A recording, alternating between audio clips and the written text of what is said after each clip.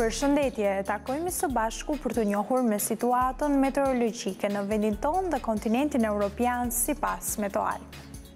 Vijon ndikimi i presionit të lartë atmosferik, duke bërë që mëngjesi i së shtunës të jetë me vranësira të shpeshta, të cilat më të dukshme do të jenë në skajin verior ku pritet edhe ndonjë shi i izoluar.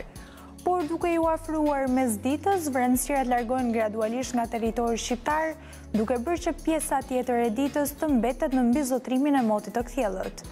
Temperaturat ulen në mëngjes, por mbeten thuajse të pandryshuara në mesditë, duke u luhatur nga nëntë deri në njëzet e tetë gradë. Era do të fryjë mesatare dhe herë pas here e fortë me shpejtësi 45 km në orë dhe kryesisht nga drejtimi verior dhe për pasojë në brigje do të gjenerohet një dallgëzim deri në 4 ballë. Por, si do të jenë kushtet e motit për ditën e nesërme?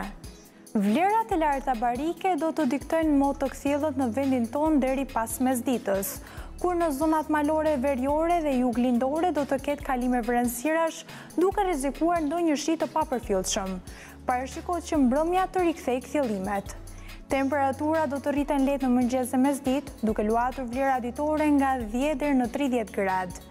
Era do të fryjë e lehtë dhe mesatare me shpejtësi dyzet kilometër në orë dhe kryesisht nga drejtimi verior, dhe për pasojë në brigje do të gjenerohet një dallgëzim tre deri në katër ballë. Për ditën e nesërme, Ballkani Perëndimor dhe brigjet e Egjeut do të paraqiten me mot të kthjellët dhe vranësira të lehta, ndërsa Lindja, veriu dhe qendra e Europës paraqiten me vranësira dhe rrebeshe shiu. Po ashtu, Gadishulli Iberik do të ketë reshje të pakta.